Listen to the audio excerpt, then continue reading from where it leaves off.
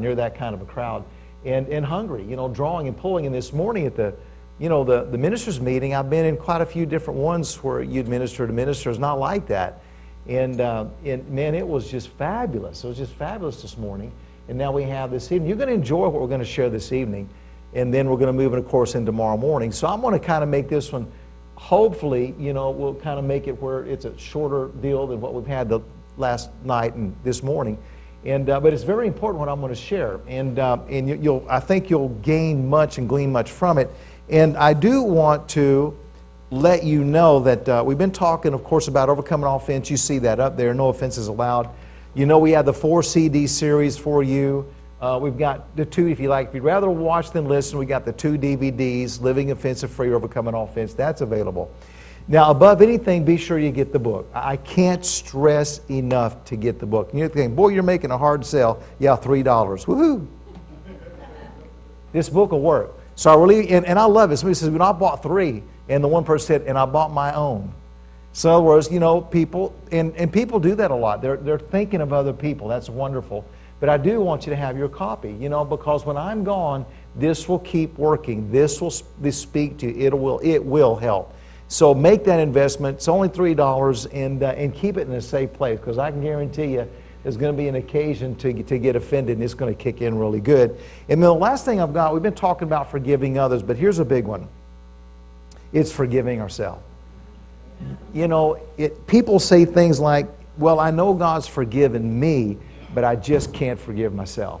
And, and that's, that's a big thing. And so I've got a one single CD. It's called Forgive Yourself. So a little, little hip on the title there. Forgive Yourself. And I did this in, in Santa Fe with Pastor Gene Drug Tennis. I don't know if you know Gene and John Drug Tennis or not. And uh, it, we were doing the uh, Finisher's Destiny and just some prep work in it and tech work in it and all that. And I'm praying that morning, the Lord said, You need to teach on healing. Well, you know how that is. Like, okay, Lord, we'll do exactly what you want because, you know, we're going to go with the flow with you. And um, so there's a resource there. You know, you've been in ministry for a while, so the stuff you can pull up. Well, in the middle of it, I just said this by unction that, uh, you know, you may be here and you may be saying, I know God's forgiven me, but I can't forgive myself. Now, I said it under unction the Holy Ghost fell. I mean, literally. And, and, and not everyone, but a lot of people began to cry. And I'm like, wow, God, this is the vein you want. And then I went on to say by unction, for us to say, I know God's forgiven me, but I just can't forgive myself, is to say, I'm at God's throne. He's in his seat of authority. He has his gavel. He slams it and he says, I pardon you. You're not guilty. But we push God off his throne. We grab his gavel. We slam. We say, But I am guilty. Said it by unction. And then I said, so I guess we ought to make you God. You see, see what it does? It's eye opening. And as a result, and the Lord said, you know, He wanted people, he was, there was this one particular person, He said, it's important they receive their healing for the sake of their family. And, uh, and, I, and I've been in ministry for quite some time, but I never had an unction of urgency like I had in that meeting. It was remarkable. I mean, it was, it was an urgency of God that it be done and it be done in Him. And that's what happened. So I told Pastor, you know, I got to have the CD. So this is an A bomb to that kind of thinking, to where I not only is God forgiven, but I'm able to forgive my. Now, why do not? Why do people don't forgive themselves? Why do they choose not to forgive themselves? It is a very subconscious level. You won't recognize it, but the bottom line's this: I just don't deserve to be loved that much. That is the bottom line. But you do deserve to be loved that much. You do deserve it. Because God, God loves you that much, He forgives you. Nothing's bigger than God. And so we just want, now let yourself off the hook. Let yourself off the hook. Let yourself be free of the stuff of your past. Amen? Who could use this? Because I want to give it to, oh, Lord have mercy. What am I going to do now? I, you're the first one that I saw, so I'm going to give it to you. All right? Good catch. You're very welcome. And um, so let's. Um, Let's go to Luke chapter 4. This is kind of one of our golden texts, so to speak. Luke chapter 4. And I want to talk to you tonight about the anointing makes a difference, but I have to walk out the change. And the anointing does make a difference. I'm going to get a little story about myself and that kind of thing, and then just move on forward from there. And what I hope to um, relate to you is how God dealt with me so that you can transfer that over to yourself. And what I mean by that is, is we can take a proper, correct step of choosing to forgive others or to forgive someone, and yet our emotions are struggling to line up to the real step of faith we took. It was a real step of faith, it was a real choice, and a right one. But the emotions just aren't quite lining up immediately. It takes a little bit for that to happen. And the anointing makes a difference, but I still have to walk out the change by that anointing. And it will help us to do that. So, Luke chapter 4, verse 18 says, The Spirit of the Lord is upon me, he's talking about Jesus Christ, because he, God, has anointed me, Jesus, to preach the gospel to the poor.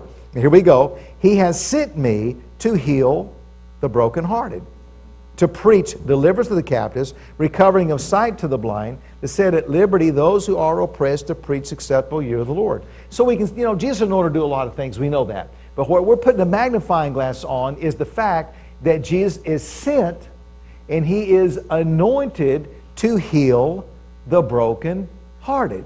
And when he gets through, the heart's not broken. The heart is whole. The heart's restored. And my life is not based by hurts and wounds of what someone's done. It's healed. It's made whole because the anointing breaks the yoke, right? Isaiah says it's the anointing that breaks the yoke. The yoke destroying, burden removing power of God. And you know, and of course, we gave the example of, of the rat trap, and we know what this means now that the, the, the, Greek word for offense was taken from where you put the bait on that part of the trap that triggers it. So, literally, if I become offended, I become ensnared and trapped. So, if I'm in a trap, because my heart's been broken and I'm having a grudge or unforgiveness or resentment and, and I'm struggling with it, the anointing breaks the yoke. The anointing gets me out of this trap. Thank God. And what I really enjoy about this is that God cares about us, yes, physically, and of course, spiritually, we know that, but He cares about us on an emotional level. He made us emotional, right? He made us that way. And I want to bring out a thought because sometimes when we learn about the Word of faith, we're learning about faith, and we know we walk by faith and not by sight. We walk by faith and not by how we feel. Now, listen closely. It doesn't mean we ignore feelings. Feelings locate where you're at. Like, for example, if I'm getting angry over something, anger is a secondary emotion connected to something else. And so if I'm getting angry, it's like, okay, why am I getting so angry? And then once I find out why I'm, why I'm getting angry, now I put the word on it. I don't ignore the emotion, I just locate why is this going on, and I put the word on it. You know, I, I think I was telling you, you know, how I was going through uh, a, a, difficult situation, and I was getting angry, very react, very reactive, and and it was just it was just wild. And I'm like, why am I so reactive? Why am I getting angry over this particular situation that seems to, you know, you forgive, it comes back. You forgive, it comes back. You forgive, it. It's just a real challenge. And so I'm like, why am I just so reactive? I'm not like this. And so I'm trying to discern it and walk it out. And I found out it's simply because I have been wronged. Injustice. I've been wronged. Are y'all with me? And so, and because of that, then that's where the anger was coming from because I've been wrong, and you know what? And I'm out of control because there's not anything I can do about it. I'm helpless. I'm out of control. I can't do anything, but I can work on me. I can't work on people's decisions, but I can work on me. And that's where it was coming from because I'm helpless, I'm out of control, I'm weak, and I've been wronged. And uh, so then I found out, okay, I, now I'm out of the love of God. So I got I got to get back into the love of God, and I need to put the Word of God on this. Am I making sense? Yes. I didn't ignore it. I just had okay. I've got to deal with this thing, and that's what we mean when when you when you read about King David. I mean, King David poured his soul out to God a lot but he always acknowledged the goodness of God. That's what I'm talking about. Now, Jesus is sent and he is anointed to heal the brokenhearted. Now, thank God for this anointing. And you know, I was, and let's go to John, 1 John chapter 2, and I was raised in a traditional church. And, and I want to put a little bit of importance on, on the anointing. And I, I know, you know, this church, not, I, I know Pastor Virgil, you know, believes in it, and I know you believe in it. And, um, you know, we, when we talk about the anointing, we're talking about God's ability. We're talking about God's ability beyond our own ability. We're talking about a supernatural power that God has. And every born again believer has an anointing within. Now, whenever there's a call of God on someone's life, there's a call of God on Pastor Virgil, there's anointing upon him in that office. There's anointing upon me in my office. And, and truly, I believe when anyone serves God, there is a measure of an anointing upon them.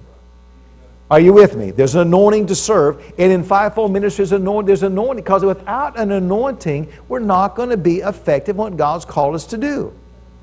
That's just how God operates. He anoints you for service. Now, when you're born again, you have an anointing on the inside. Every born again believer, whether they know it or not, has an anointing. Now, not every believer has an anointing upon them. If I'm called the fivefold ministry, then I have to be anointed. There's anointing upon. If I choose to serve, I still I believe there's anointing upon to, in, in, that God can use you to serve. Believe that. So now, in the light of that, then I hear you know I, I never heard the word that I can recall anointing in the church I went to. Uh, you know, we, we were learned about Jesus Christ. We were taught about Jesus Christ. And as far as the Holy Ghost, I had no clue who he was, except that I thought, well, Holy Ghost, okay, he's a good ghost and uh, so he must be like Casper. Because they just weren't taught about the Holy Ghost. They, they, they failed to recognize his present day ministry. They were good at Jesus Christ. You know, it's funny because you can be in traditional churches and their doctrine Jesus Christ is that thick and the Holy Ghost is like that. Then you get into Pentecostal church and the Holy Ghost doctrine is that big and Jesus Christ is that that. And what it needs to be, like that. Jesus Christ and the Holy Ghost. Are y'all with me? And so here I and then I dedicated my life in 1979, sold out to God. That's a whole story in itself. And then there were these Pentecostal ladies that uh, were filled with the Spirit. And, uh, you know, people talking about being filled with the Spirit and you can pray in other tongues. And I'm like, what's that? I've never heard of that. And, you know, and so you start reading the book of Acts, sure enough, they would pray in other tongues. And, you know, but then you get over there to Corinthians and it gets a confusing mess because do all speak with tongues? And I thought, well, I'm one of those that doesn't. And I took it out of its context because it's talking about a public gift that, that is in an open congregation. Not everyone's going to speak in a tongue in an open congregation. But according to the book of Acts, when they got filled, they all spoke because everyone can have an individual prayer language of praying in the tongues of men and of angels. Now, I didn't know that because I wasn't well versed in Scripture. So I remember going, God, if, if, whatever you're passing out, I want it. If you're passing out the Holy Ghost, I want it. You're passing out more of the Holy Ghost, I want it. If you're passing out gifts, I want it. If you're passing out praying in other tongues, I want it. But I don't get it. I didn't get it. So I came out of college with an accounting degree. Two plus two equals four and tongues equaled nothing. Because the Bible says your understanding is unfruitful. So I'm like, God, if this is from you, I want it, but I'm just not really getting it here. That's a whole nother story of how I got filled and how God did it. I teach that quite a bit for people to feel the Spirit. Very, very. First time I ever saw the real power of God. It was absolutely off the charts remarkable how God revealed himself in the area of the Holy Spirit His power and how tongues were involved. Really remarkable. That got me off on, okay, I got it, God. Now, so let me come back. Didn't know what anointing was. Pentecostal ladies came over and they brought this oil. And I go, what are you doing with that? They go, well, we, we, we, we're going to anoint you with oil. I go, no, you ain't going to anoint me with no oil. You can put that aside, but you can pray for me. Because I didn't understand. I, because I was raised in a traditional church. So, you know, they prayed. Nothing really happened because I'm still not understanding completely. But I, I, I recognize that they loved God. I mean, they were like, these two Pentecostal ladies were awesome, man. I mean, just love to be around their presence. I, I like their, their, their, uh, their fervor for God and their fervor for God and what they were doing was remarkable. So they leave, but they left the bottle. well, I get back after work and I start reading my Bible, maybe a month later. And I'm reading about, you know, I won't get it quite right, but in the Old Testament, it was like maybe the, the wheat, the wine, and the oil. And when I read oil, my spirit kept saying oil, oil, oil, oil. Oh, and I'm trying to read the Bible. I keep hearing oil, oil. And you can't read the Bible because you keep hearing oil. I, I get I says, God, what about the oil? Now this this this God just said, get the anointing oil because I am going to anoint you. That's what he said. And I got I said, that's the craziest thing I've ever heard in my entire life. Because I didn't understand it. And then on the inside of me, he brings up that scripture don't lean upon your own understanding, but trust me with all your heart. I go, okay, God, I don't get it. So I got that thing, poured that bad boy on my head, and took a shower. Didn't know what it meant. Well, then I called one of the Pentecostal ladies. I said, I have to ask you a question, but you got to promise me you're not going to laugh. Goes, just all I know is I got to know if something is scriptural, and you got to promise me you won't laugh.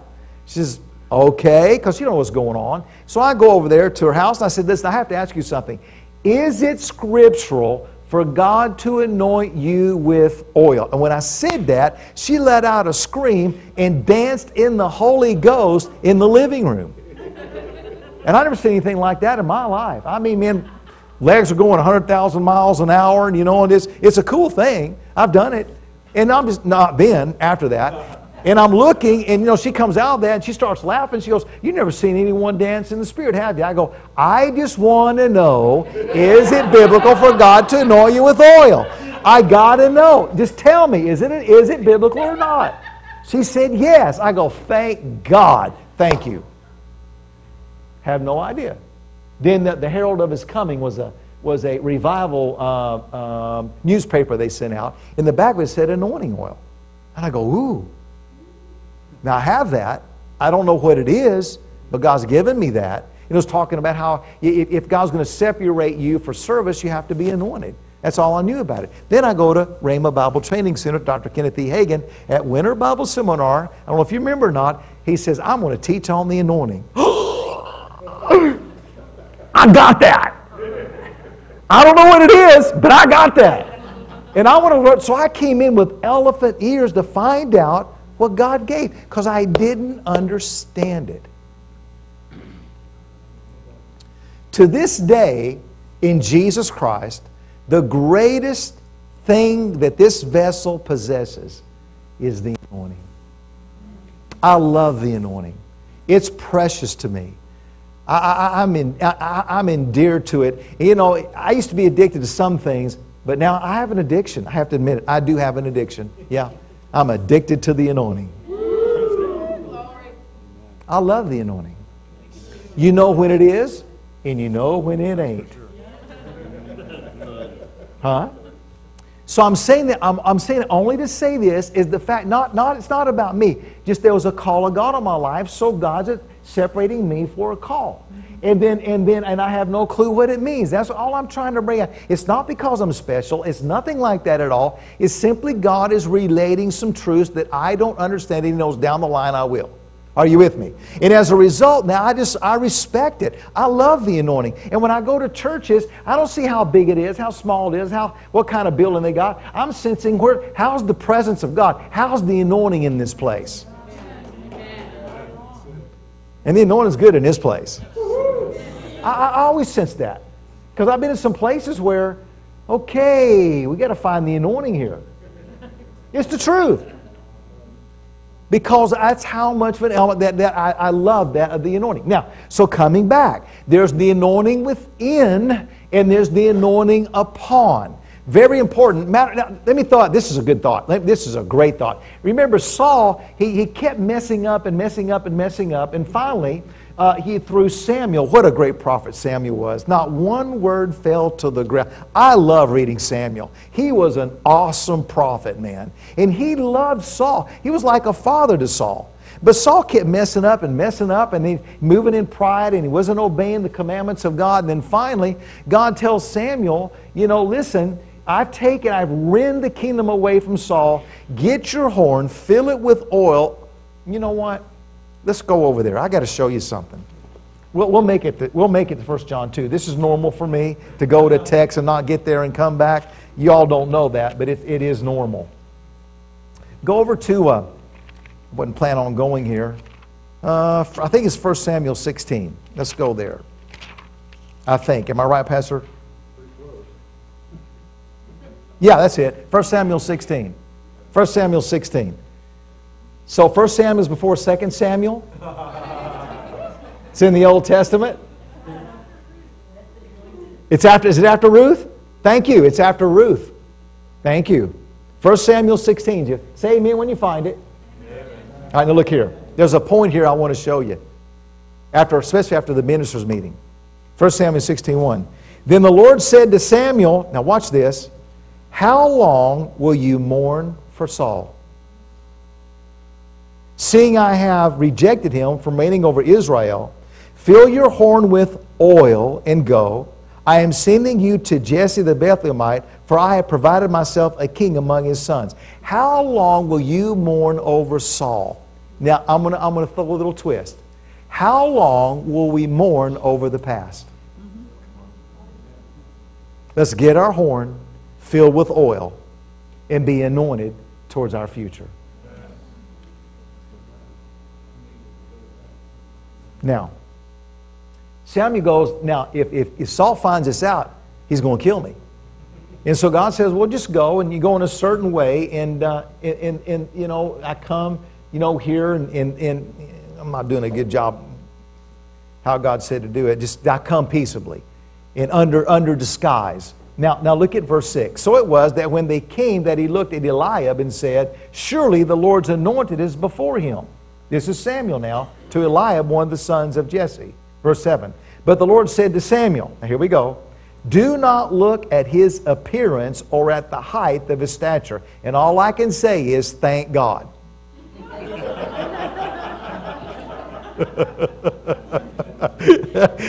okay, because I have refused him. For the Lord, now look here, for the Lord does not see as men sees, for man looks at the but God looks at the So why did God anoint David to be king? Thank you. He had a heart after God. He had a heart to do all of God's will to his generation. So God looked out among all those and he found David and he saw his heart because he had a heart after God and he anointed David because of his. Thank you. So if I become offended, and hurt and wounded, it affects the, which will affect the, you got it.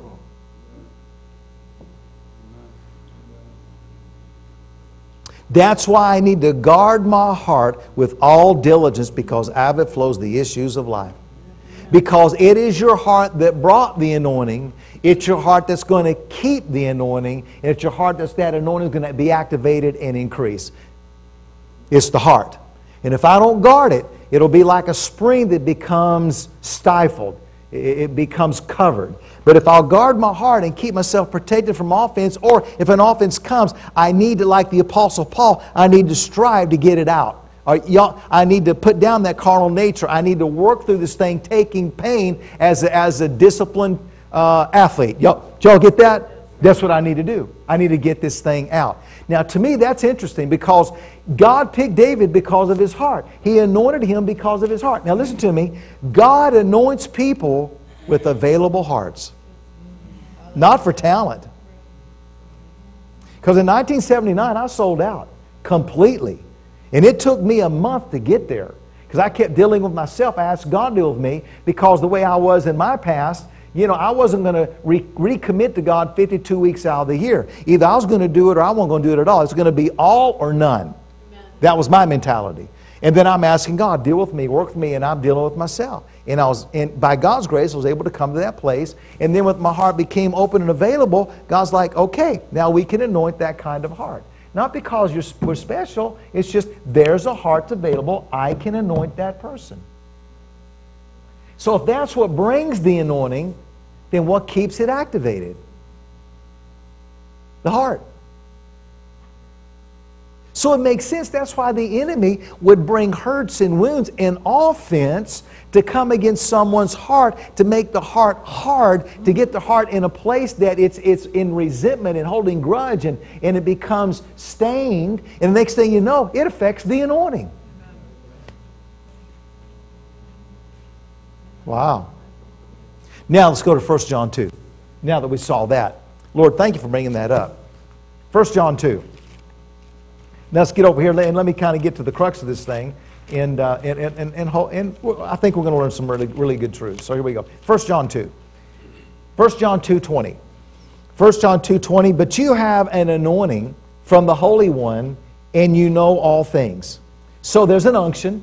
There's uh, 1 John 2, 1 John 2 20. You have an anointing, you have an unction from the Holy One, so you know all things. Uh, verse 21 I have not written to you because you do not know the truth, but because you know it, and no lie is of the truth. And there's so much here within the context of 1 John 2. But let's just jump over to 27 and let me just show you this. But the anointing, now look at the wording, which you have received, not going to, you have received from him abides in you. And you do not need that anyone teach you, but as the same anointing teaches you concerning all things and is true and is not a lie, just as it has taught you, you will abide in him. So much truth here, but I don't have time to bring all of it out. But I want to bring out this aspect. The anointing will teach you. Amen. The anointing teaches.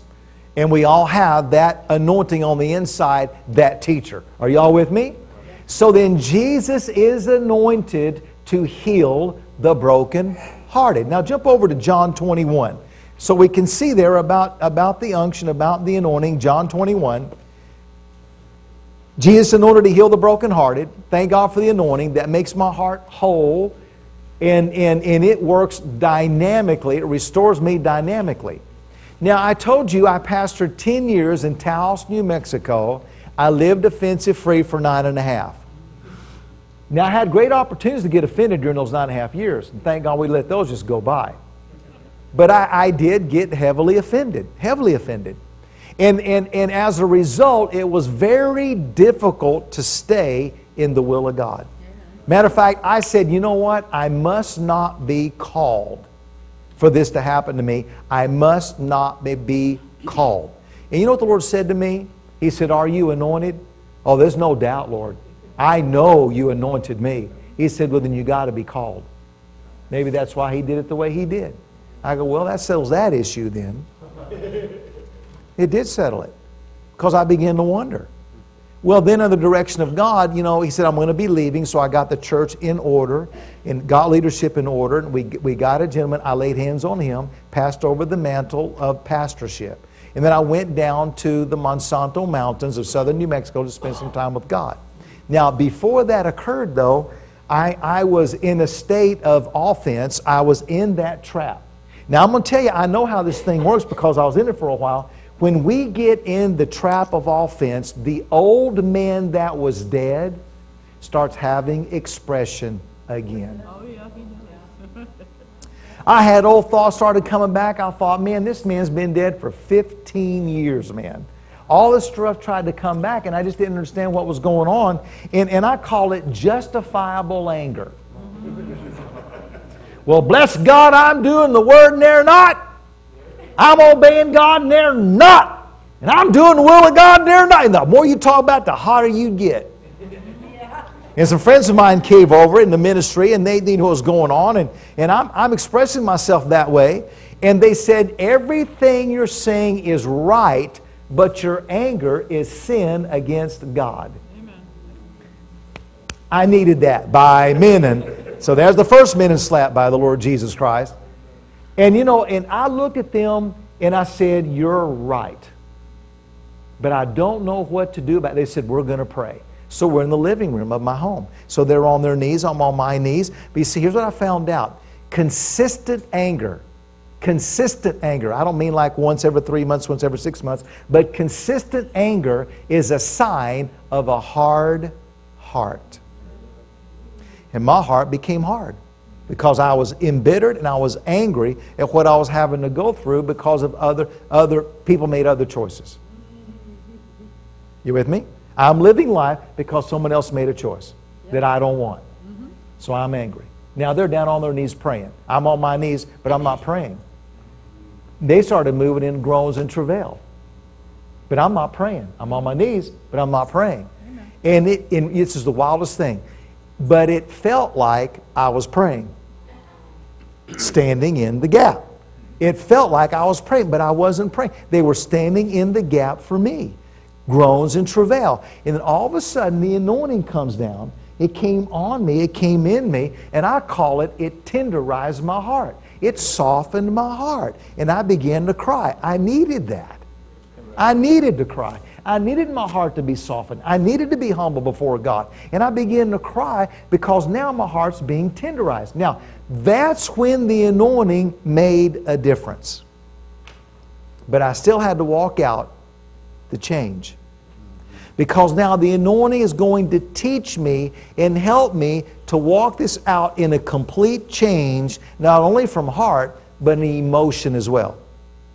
So then I gave the church over, like I told you, I'm driving down the Manzano Mountains, so here comes the lesson. So I'm driving the car, and I'm talking to God.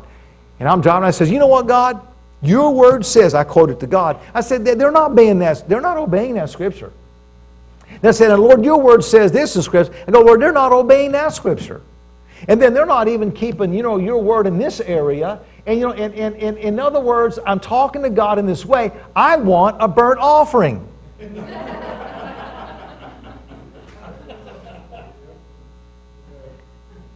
And the Lord spoke to me clearly and said, now, now listen so we can learn. The Lord spoke to me clearly and said, What's that got to do with you? Amen. You follow me. Amen.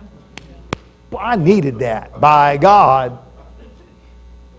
And when the Lord said that to me, what now? In other words, what's that got to do with you that someone else made decisions that affected your life? You follow me. In other words, are you going to follow after what they created or are you really going to follow me?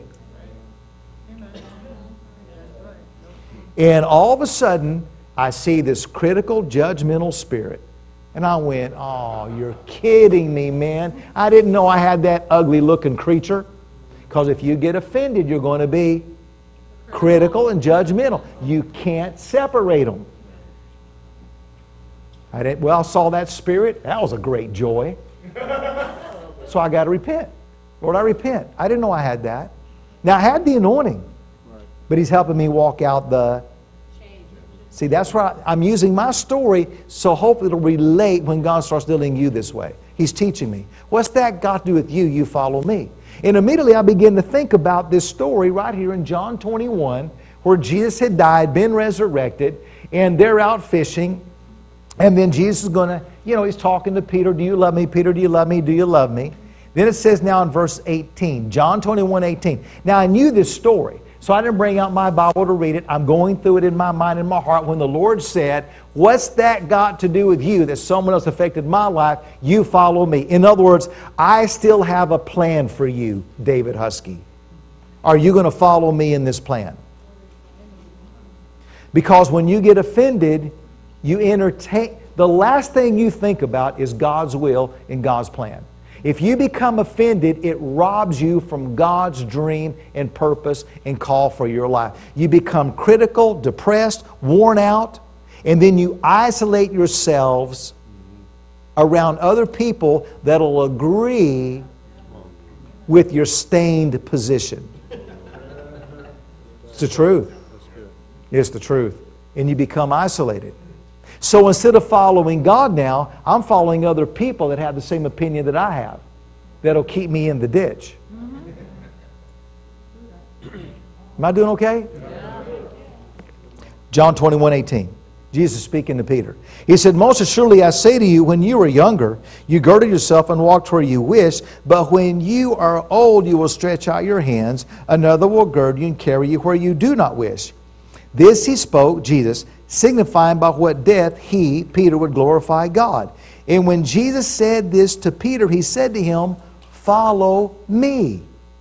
Now, listen, that is a pretty hectic prophetic word. Peter, man, you know, you've done what you wanted to when you're younger, but later on you're going to stretch your, hand, your hands in a way you don't want to, but this is going to glorify God, Peter, so you follow me. And Peter is challenged because he knew if Jesus says something about the future, it will come to pass. Remember, you'll deny me three times? And if you study that out, he vehemently said, I'll ne- what a setup, wasn't it? I'll never do it. I will die for you. What a setup. So Peter knew if he says something about the future, it will come to pass. He's challenged. So here's how it goes now that he's challenged. Go to verse 20. Now, notice the wording here. Notice the wording. Then Peter, now watch, turning around, saw the disciple whom Jesus loved following. Now it's John. Go to verse 21. Peter, seeing him, said to Jesus, But Lord, what about this man? Let's stop a second. Peter, you're going to die in a way you don't want to. And then Peter's challenged, and he turns around and he sees John following, and he goes, Well, Jesus, if I, and we would do the same thing. If I've got to die like that, well, what about John? we would do the same thing. Well, man, if that's the case, what about John over here, Jesus? You see it? Verse 22. Jesus said to him, If I will that he remain till I come, the complete opposite. If I want him to stay alive till I come back, now look what he says. What's that to you, Peter? You follow me. Now, what's he saying? It, not, thank you. It's none of your business. In other words, it doesn't matter what anybody else does. I'm responsible, and you're responsible to follow Jesus Christ. If another, if a preacher falls, don't let that affect your faith. You follow Jesus Christ. If you see two, two deacons and two elders fighting out in the front yard, don't let you affect your faith. You follow Jesus Christ. How many people right now are not going to church because they're blaming somebody else? Yes, well, bless God, I'll go to that church over there today. That's a bunch of hypocrites. You ever heard that before? Yeah. You ever said it? Do not raise your hand. and I, I haven't, I've got a real answer for that. Listen to me. Did the hypocrite die for you? Did the hypocrite shed his blood for you? Did the hypocrite start the church? So then, why do I run my race looking unto the hypocrite, the author and the finisher of my faith? Hello! He didn't die for me. He didn't shed his blood for me. He didn't give his life. He didn't start the church. I don't run my race looking to the hypocrite because he'll affect my faith. I run my race looking unto Jesus Christ. Mean, you read Matthew, Mark, Luke, and John, and Jesus, he had to deal with hypocrites. You vipers, you snakes, you hypocrites. Boy, he was rough on those guys because they're hypocritical. But he kept going to the synagogue. See, people are using that as an excuse.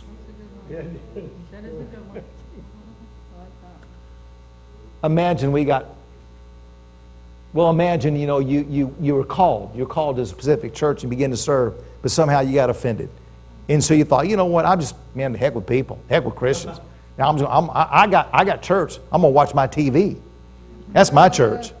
You know, funny thing about that is, if someone dies in your family, that TV preacher's not going to bury you. Amen. If someone needs to get married, that TV preacher's not going to come over there and marry someone in your family. And, and by the way, you don't send your tithe, you bring it. Come on. Excuse me, can I sit right here a second? Come on, preacher! Woo! I like it, I like it. Thank you, brother. I needed that encouragement. Wow. He made it this morning, Pastor Virgil. You're doing great. I'm just having fun. You're doing great. So you see, and so we go, and then let's say now the rapture came, right? We get raptured up. And there we are before the Lord Jesus Christ will be judged what we do in the body, whether good or bad. And He's ready to give us rewards. He wants to give us rewards. And He says, Hey, listen, man, you were saved, yeah, Lord. And you had a call, yes, Lord. And I called you to this church, yes, Lord. And I served. And again, the Lord says, Yeah, that's right. And then you quit going to the church I called you to. Amen. Well, now you're going to start squirming and you're going to move your hands. You're going to kind of fix your hair. You're going to say, Well, now, Lord, now, now, now, listen, you, you know why. do you know so and so? I thought you might. You remember what they did to me? Do you think that's going to work? No. But look at how many people are living in that realm. We give a. What's that got to do with you that they're hypocritical? You just follow me. Did y'all get it? Right, now let's go to Romans 14. You're doing great. Romans 14. So, you know, here I am, and the Lord, you know, and, and the Lord um, related that to me. Now, how many of you ever had God talk to you and the devil jumps in on the conversation? And there's the devil right behind the whole thing out here going, Here's what the devil's telling me. Well, now you'll know you're hurting, and I was to an extent. Now remember, the anointing makes a difference, but I'm talking about walking out the change. I had the difference, but I'm having to walk out the change. And God's like, what's that God do with you? You keep following me. Following him helps to walk out the change. And then the devil goes like, well, now you know you're hurting, and I was to an extent. And, and, and, this is what the devil said. This was a real, this the devil said, you can go to another state, nobody will know who you are, and you can go to a party and have fun. You can get high. You can drink to ease the pain because, after all, it's not your fault, it's their fault. They created the pain and you're just dealing with it, so it's their fault. How many people get sucked up with that thought straight from hell? They created the pain, this is what I'm going to do to deal with it, and it's all their fault. Yeah. The devil trying to get me to do something stupid. And it was a real temptation. Now, I want to say, I thank God I didn't. I didn't. But he's trying to get me to do something stupid. And then on the inside of me, when, when, he, when, when the devil said that, down here in my belly, where we, you know, our spirit is, a scripture rose up like in an elevator. down here, and the scripture's coming up, and it, and it came up right here. And, and the Holy Ghost, the anointing, quoted Romans 14 12. So then each of us shall give account of himself unto God. He went back down. So now the devil's trying to get me to do something to ease the pain, quote unquote, and blame the person. And now the Holy Ghost brings up this scripture that I give account of myself unto God. So in other words, if I that you know, David, if you do that, you cannot blame the person. You will give account of it one day. Now, being super spiritual, I said, I know it's true, but I wish I didn't. That's crazy. That was a flesh moment. You, you ever had God talk to you and you act like you didn't hear it? You ever had that? You kind of ignored it? You ever done that? It's the flesh. And, uh, and thank God, we, hopefully it doesn't last long and you come to terms with, okay, God, okay, I, all right. It's just the flesh has that reaction. Well, that was a flesh reaction. I know it's true, but I wish I didn't. So, in other words, if I do that, I'm going to give account of that. Now, I'm going to read the scripture how some people interpret it. So then each of us shall give account of others unto God.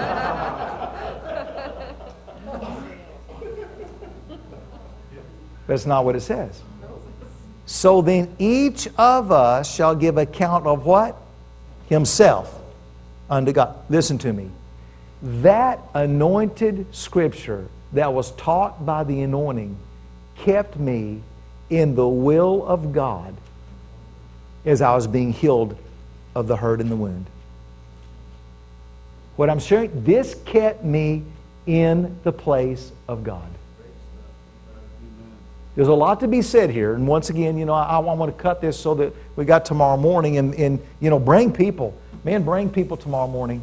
Bring them, bring them, bring them, bring them, bring them. Uh, the offended, the hurting, the wounded, bring them tomorrow morning. We want to reach them.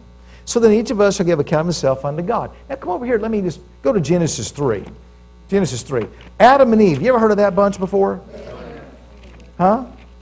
A little bit. Genesis chapter 3. Now we know God said, you, you know, human nature. Human nature. Let, check this out. You can eat of any tree I've made in the whole garden. but one little tree. And that's the one we want. What is up with us, man? That's the one we want.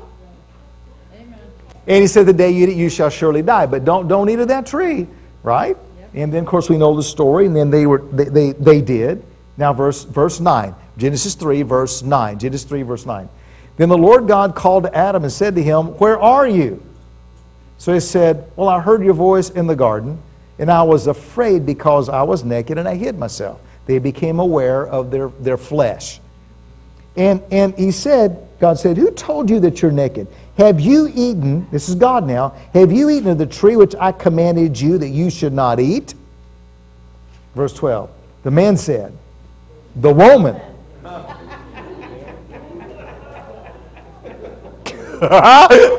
the woman. Now check this out.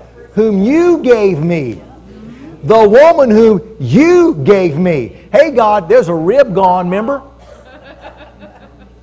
Okay, that's going over real good.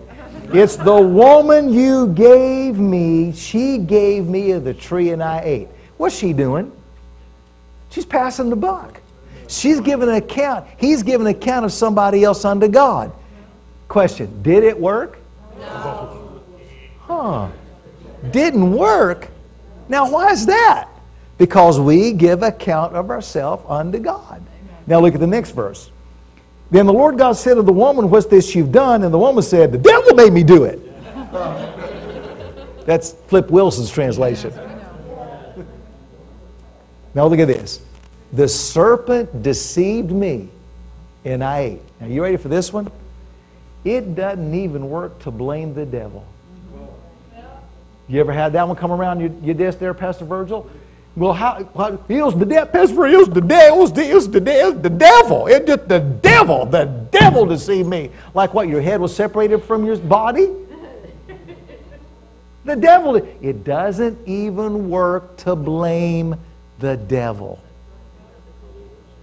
So Adam gave accountability about himself, Eve gave accountability about himself, and, and the devil had his accountability, where he crawls on the dust of the earth.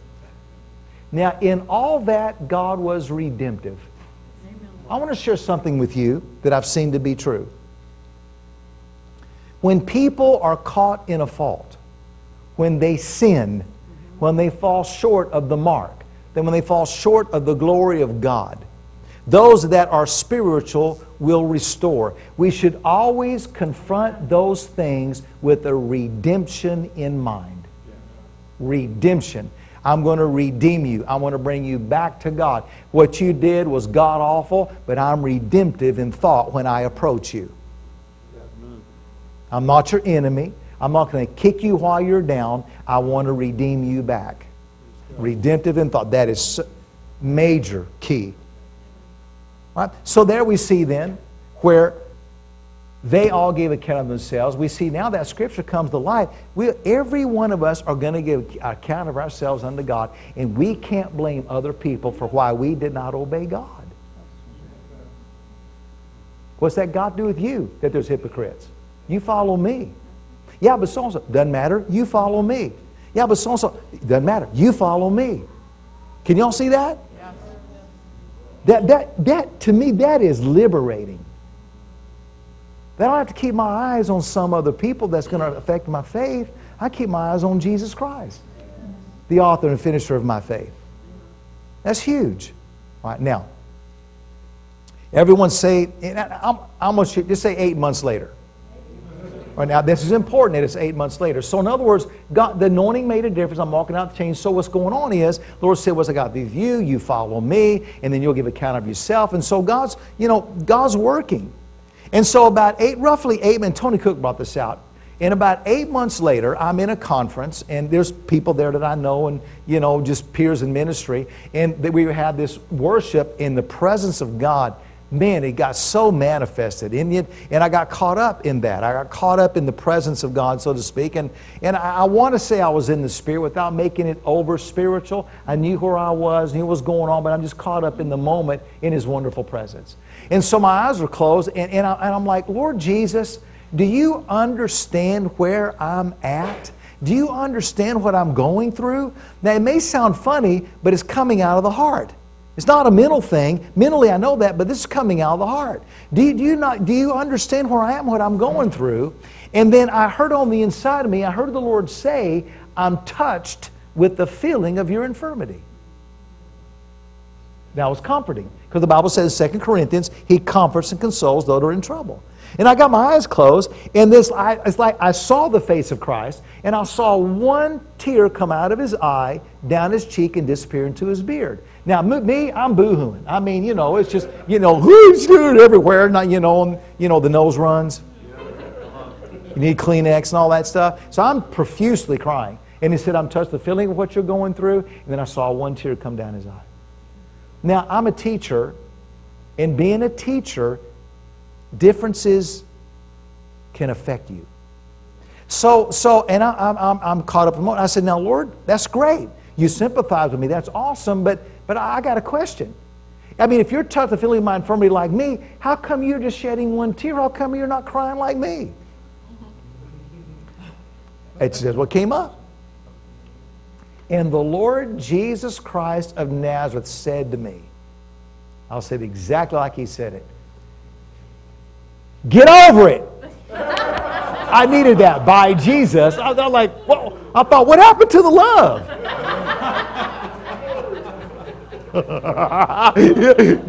he corrects those that he You know, you know what I tell my little girls all the time? Elaine's going to be eight. You know what I tell her all the time? I go, honey, correction is just a part of life. I go, honey, you're being corrected. What is that? She goes, it's a part of life, Daddy. It's a part of life. Being corrected. So don't, don't disdain it. Don't run. Learn from it. Correction's just a part of life. And God corrects those that He Has He loved on you lately? If you've gone a whole year and God hadn't loved on you, we might need another dip. But did that make sense? God corrects those that He loves. And you're going to enjoy this. I just about got offended when He said, Get over it. It's a joke. I'm challenged. I get back to my hotel room and I'm pacing the floor. Can you believe Jesus said, get, oh, oh my God. Commander chief said, get over it. It's not like, it's not like, you know, David, if you want to, if you think you'd like to, you know, you might maybe, maybe want to get over this. It's one of those things, get over it. And I'm like, oh my gosh, I got to get over it. So you see, so obviously after eight months, I'm not doing a good job. Everyone say eight months. Eight months. See, he waited at a right time to deal with me like that. And I'm challenged. And I'm like, I got to get over it. He commanded it. And I'll, now listen, here's what we're going to learn. I wake up the next morning and it was download like every morning. Download what I'm going through. Download what's going on. Download what's every morning is a download of the same thing. And you know what? And when the Lord's, I said, here's what I said. I can't go there because Jesus said, get over it. I refused the download. I deleted it.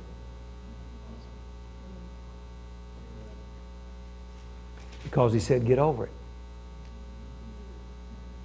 And I got good news. I got over it.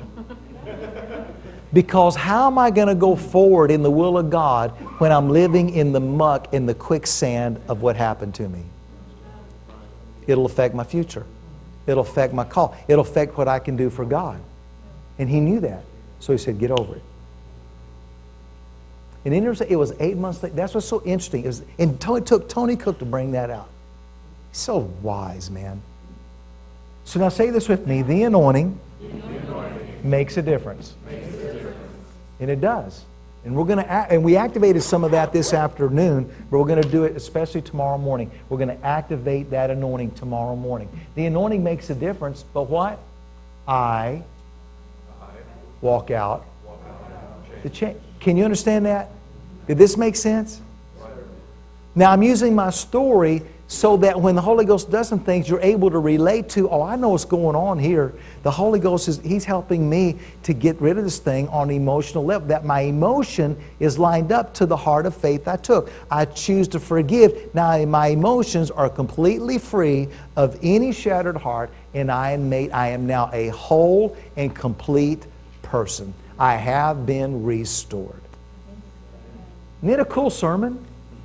There's so much revelation in it. And this is, probably my favorite one right here of everything I teach because it has so much revelation on it. And it comes back to that precious power inside earthen vessels called the anointing. And you have it. You have it. There's a lot involved in that 1 John 2. And God gave me another revelation for the purpose that the anointing is given. Many functions of the anointing, but there's always a bottom line purpose for the anointing. He showed it to me about five years ago in California. I can't go there, but it's a cool deal. It is. And thank, all I know to tell you is thank God we have that anointing. We need to stay sensitive to it. And when He's correcting us, it's part of life. It's part of life. It's grievous. We don't like it, but it's a part of life because it, it's just like God's loving on me.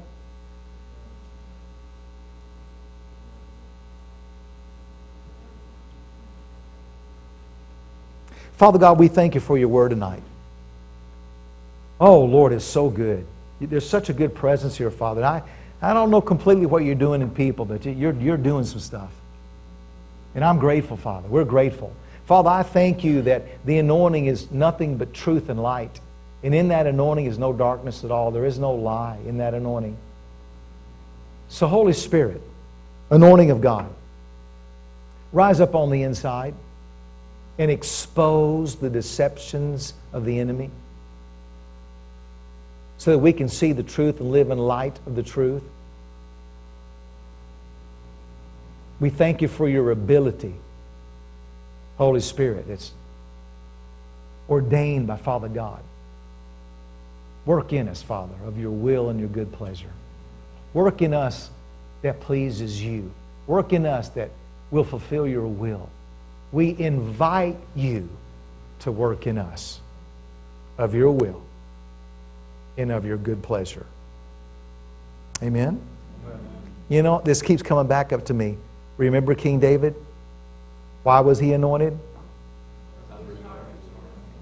What keeps us in an active anointing? Our heart. Let's guard it. Let's protect it because it'll keep that anointing in its proper place of activity. Amen. God bless you all. We'll see you tomorrow morning. Praise. Amen. Hallelujah. Glory. Well, let's stand up.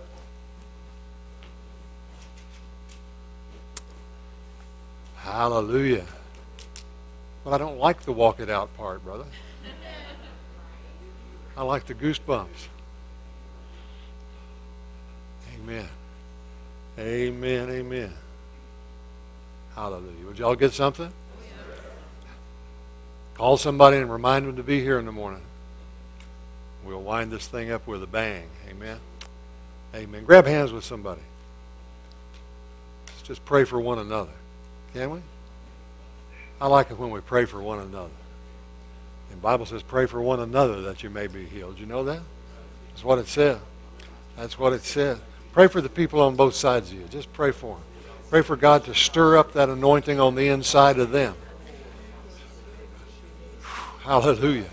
Thank you, Lord Jesus. Oh,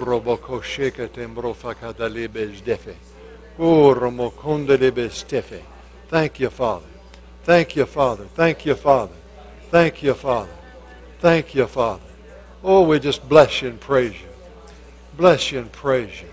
Thank you, Father God. Thank you, Father God. Thank you, Father, for that hunger that is growth.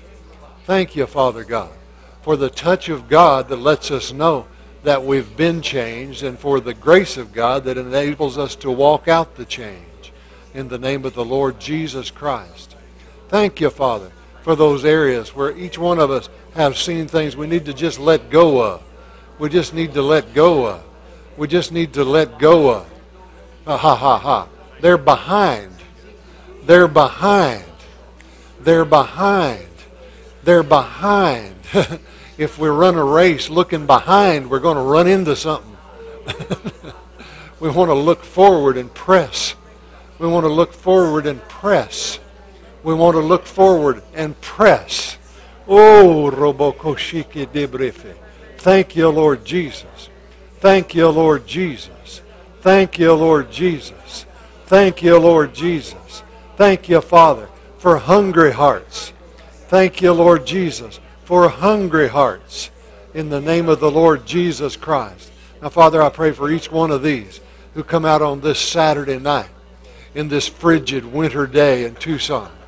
We thank you, Father God, that you just uh, bless them for their sacrifice in this hour, and that the things that they've received this night will bear fruit in their lives, and that we'll come back here, Father, in the morning uh, to our uh, to this church or to the churches where uh, we're individually called and planted, and we'll hear from heaven one more time, touched one more time with the anointing, graced one more time to walk out the change. In Jesus' name, we thank you for it. Everybody said, Amen. Amen. Go home.